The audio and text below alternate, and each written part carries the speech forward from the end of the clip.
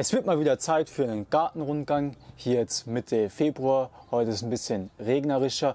So her draußen an den Pflanzen wächst alles sehr langsam. Sieht man jetzt vielleicht nicht so die Veränderungen.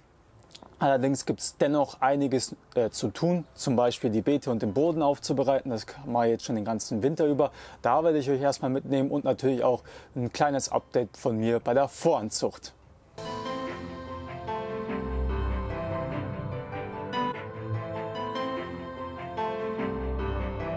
Phasenweise hatten wir hier im Februar ein paar Tage, die so 10 bis 11 Grad hatten und dann auch noch schön sonnig waren.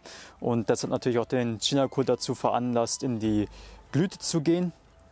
Ich werde die beiden jetzt auch einfach in die Blüte gehen lassen, damit dann die Insekten was dafür haben, vielleicht noch einen für das eigene Saatgut nehmen. Und so ein Chinakohl bzw. allgemeine Kohlsorten, die halt in die Blüte gehen, die kann man auch ziemlich gut für als Ablenkung zum Beispiel benutzen für einen Kohlweißling. Da können sich da die Raupen bedienen, die gehen da recht gerne hin. Hier habe ich auch noch mal ein bisschen Grünkohl, den ich auch schon bald abgeerntet habe. Werde ich auch ein paar stehen lassen, damit ich hier Samen nehmen kann. Und hier sind die Zwiebel, die Steckzwiebeln auch schon aufgegangen. Da, die habe ich im Herbst gesteckt. Kann ich mich da auch schon mal auf die Zwiebelernte etwas freuen. Hier wächst auch noch mal ein kleiner Kohlrabi ran. Den werde ich dann auch vielleicht die nächsten Wochen dann ernten, wenn es im März dann nochmal etwas wärmer wird. Also hier im Folientunnel gibt es nicht so viele weitere Änderungen. Ich habe jetzt den ganzen Winter über hier ziemlich gut gegossen, immer wieder Bokashi mit eingearbeitet und hier auch diese dicke, fette Laubschicht mit drauf gemacht.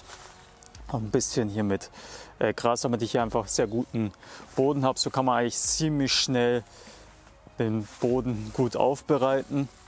Da ist schon recht erstaunlich, wie schnell ich hier den äh, Humus hier aufbauen kann. Innerhalb von kürzester Zeit. Hier jetzt durchs Netz hindurch kann man den Barbecue Wintersalat sehen. Der hat jetzt die Kälte ziemlich gut überstanden. Und da wird es dann, wenn die Tage wärmer wird, wird er auch dann noch mal ziemlich einen großen Wachstumsschub, denke ich, bekommen.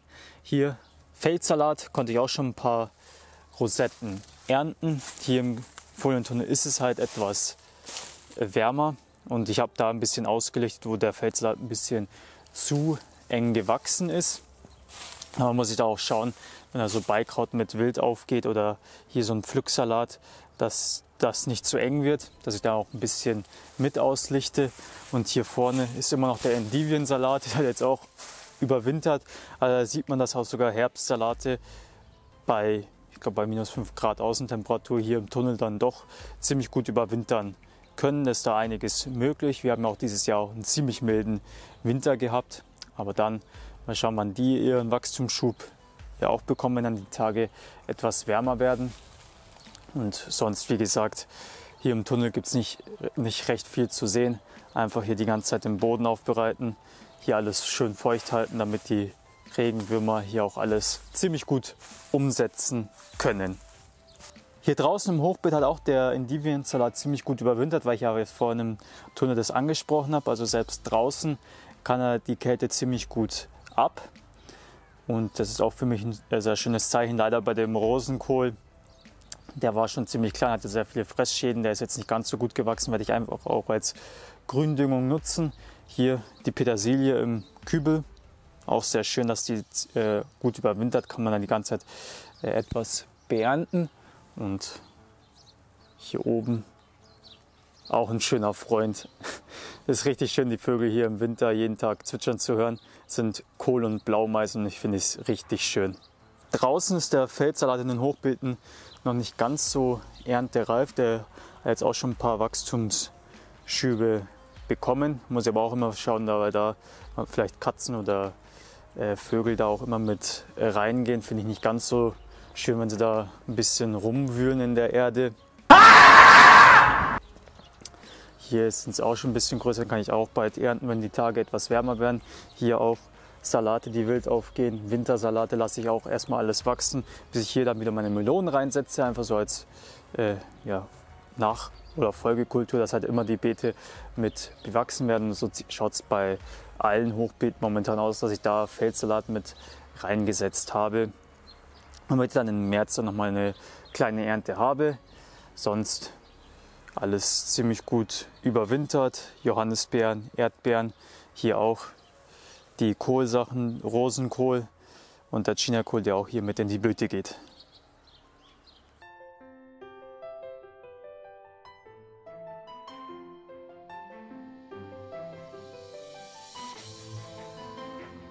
Eine kleine Unterbrechung für eine kurze Mitteilung. Und zwar habe ich zwei neue Kurse veröffentlicht. Eine 42-Tage-Challenge für die Grundlage in die Permakultur und eine 22-Tage-Challenge für die Grundlagen in die schleimfreie Heilkost, vegane Rohkost und dem Fasten. Beide Kurse findet ihr unten in der Videobeschreibung. Die ganzen Jungpflanzen hier haben auch ziemlich gut überwintert. Das ist überwiegend schwarze Johannisbeerstecklinge und hier Erdbeeren da wer Interesse zum Beispiel hat, könnt ihr auch auf meiner Webseite unter Produkte bzw. Angebote vom Permakulturprojekt Peace äh, anschauen. Da werde ich euch die Seite genauer verlinken. Da könnt ihr jetzt zum Beispiel, wenn ihr Interesse habt, von mir schwarze Johannisbeeren bekommen, die Stecklinge hier, Erdbeeren, Avocado, Esskastanien habe ich auch noch und noch viele weitere Pflanzen. Also wenn ihr da Interesse habt, könnt ihr mich gerne anschreiben. Ich freue mich äh, darauf, euch weitere Pflanzen zu geben, weil ich habe hier einfach mehr als genug. Also wer mein Video zum Knoblauch gesehen hat, das werde ich ja nochmal oben in der Infokarte verlinken, dann kennt ihr ja schon das Erdbeerbeet. Da hinten Zwiebeln, die ich vergessen habe letztes Jahr, die kann man jetzt zum Beispiel für Grün nutzen. Dann kann man oben das Grün abschneiden. Ist auch eine feine Sache. Zwischen den Erdbeeren habe ich dann auch gezeigt, dass dann Knoblauch mit äh, rauf geht. Auch eine schöne Mischkulturkombination. Knoblauch mit Erdbeeren. Und die sprießen ja auch langsam mit, äh, raus aus dem Boden. Sind vielleicht nicht ganz so weit, weil wir halt eine Fußbodenheizung haben. Und die zieht ja die Wärme aus der Erde heraus. Hier auf dem Beet habe ich jetzt angefangen, noch mal ein bisschen Mist mit auszubreiten, habe ich von meinem Freund bekommen. Beim Pferdemist einfach schauen, dass der von Pferden kommt, die jetzt nicht gerade entwurmt worden sind, dass die Medikamente haben oder sonst irgendwelche Impfungen oder chemischen Sachen abbekommen haben, weil das kommt dann natürlich wieder mit zurück auf euer Beet. Also wenn ihr Mist nutzt, dann schaut, dass ihr das äh, von einer ziemlich guten Quelle auch bekommt, wo ihr sicher seid, dass die Pferde glücklich und gesund sind, sage ich mal. Habe ich jetzt hier ein bisschen aufbereitet, weil ich hier Zucchinis vielleicht an, äh, reinsetzen möchte. Hier wachsen noch ein bisschen der Grünkohl und der Chinakohl, die werde ich vielleicht auch nochmal als Gründung damit einarbeiten. Hier habe ich das gestern aufbereitet.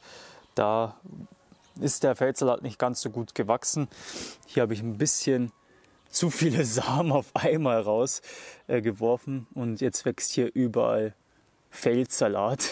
Werde ich einfach jetzt hier wachsen weil, lassen, weil der mich hier nicht stört. Vielleicht kann ich dann einfach dann immer so kleine Snacks nehmen beziehungsweise auch den für Saatgut aussamen lassen. Jedenfalls habe ich hier Bokashi mit eingearbeitet und Pferdemist, weil ich hier nochmal äh, äh, Kartoffeln mit reinsetzen möchte. Und da habe ich schon mal die Beete jetzt äh, aufbereitet, damit ich das dann umsetzen kann bis Ende März, April, wenn ich dann die Kartoffeln hier reinsetze. Ich bekomme ja immer wieder Astrückschnitte und Häckselmaterial habe ich mich jetzt gestern wieder ran gemacht und habe zwei Säcke voll zusammengehäckselt. Das werde ich jetzt für Pflanzenkohle auch nutzen, die ich da hier in meiner Pflanzschale äh, selber herstellen, in meiner Feuerschale meinte ich.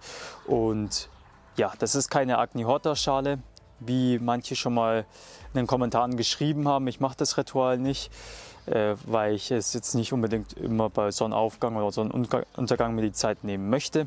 Und außerdem habe ich nicht mal Kühe, die Hörner haben und da ich die, diesen Fladen da auch nicht mit verbrennen kann.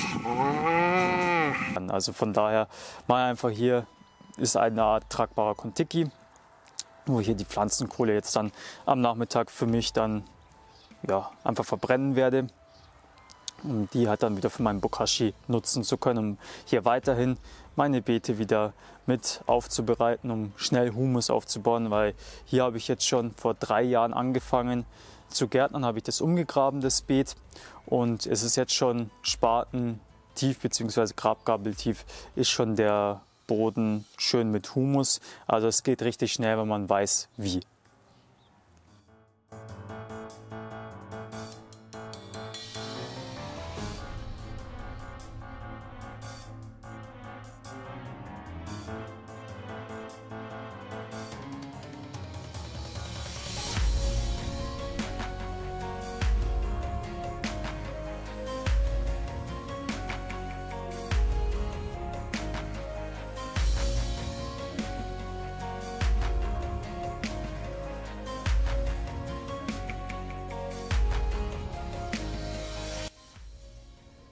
Jetzt bin ich hier im Haus und jetzt schauen wir uns erstmal die Pflanzen an, die für die kommende Saison vorbereitet werden. Hier eine Tomate, die irgendwo wild aufgegangen ist bei den Goji-Bär-Stecklingen. Die habe ich jetzt umgesetzt und pikiert. Mal schauen, wie, ja, wie sie sich entwickeln wird. Das passiert immer wieder mal. Hier eine Avocado. Könnt ihr jetzt zum Beispiel auch bei mir auf der Webseite käuflich erwerben, wenn ihr Lust habt. Dann hier auch noch Goji-Bär-Stecklinge. Dann hat auch schon der Ingwer angefangen, ja, größere Triebe auszubilden, auch die ersten Blätter, ein paar Süßkartoffeln. Da hatte ich auch mal wieder das Problem mit Spinnmilben. Da ich, tue ich jetzt auch die ganze Zeit regelmäßig mit Knoblauchsud spritzen. Die erholen sich jetzt schon, schon langsam. Damit ich hier meine rosene Süßkartoffeln weiter vermehren kann mit den Stecklingen. Und da hinten auch nochmal eine Tomate, die auch bei den Goji-Beeren wild aufgegangen ist, die ich dann auch wieder umgesetzt habe. Sorte unbekannt, keine Ahnung. Die ersten Tomaten habe ich jetzt auch schon ausgesät, mache ich deshalb schon Mitte Februar, weil ich halt ein Gewächshaus bzw. einen Folientunnel habe, wo es halt recht warm ist. Da kann ich die auch schon Mitte April raussetzen. Für die Leute, die jetzt kein Gewächshaus haben oder einen Folientunnel, ihr habt noch genug Zeit. Mitte März reicht auch vollkommen fürs Freiland. Hier habe ich jetzt in jedem Topf eine Sorte drin. Hier sind neun, Sorten, neun verschiedene Sorten und hier habe ich auch noch mal 21 Töpfchen, also insgesamt 30 verschiedene Tomatensorten. Und da werde ich doch mal schauen, wann die aufkeimen. Die Sorten habe ich jetzt da auf den Töpfen hier drauf geschrieben, damit ich weiß, was das da ist mit solchen Stickern. Aber mache mir auch extra äh, einen Zettel, damit ich genau weiß, welche Sorte wo ist. Da ich jetzt nicht mehr mit diesen, ja, mit diesen Steck, Stecker oder sowas oder mit äh, Eisstielen habe ich das auch mal früher gemacht. Ich mache das jetzt lieber so. Sonst hier drüben ist ein bisschen hell, weil jetzt die äh, Jungpflanzen gerade Licht abbekommen. Hier auch die ganzen Chilis, Paprikas und Auberginen. Die durften auch schon bei den 11 Grad für eine halbe Stunde raus zur Abhärtung.